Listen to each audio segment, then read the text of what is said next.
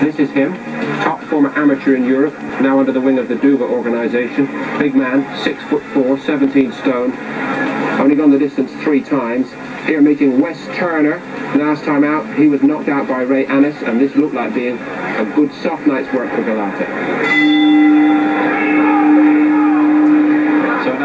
To see the unbeaten Andrew Golota of Poland, who's working his way steadily up the heavyweight rankings, unbeaten in 24 up against West Turner, who is not the most significant test maybe facing Golota. The West Virginian can punch on the club circuit, and he's down very early on here as Golota lets rip.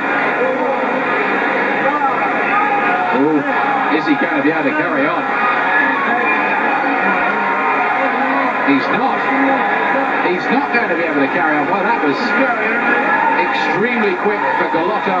It's his 13th first round win. It's very, very good stuff. It just looked as if he was going to start off throwing the jab and that. Certainly looks the part, doesn't he? And then he let go with some beautiful punches. Two very good right hands. Really set that up. Knocked everything of the legs of Wes Turner.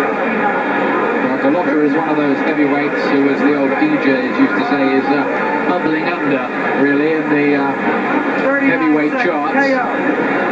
That's a good right hand. That's fine. I think there's another couple of punches there after that.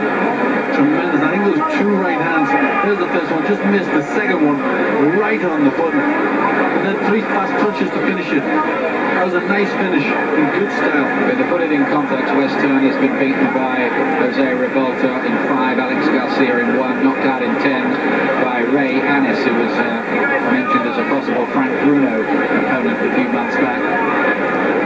has done the job here emphatically. The Duvas may have lost Holyfield, but they've got Golota.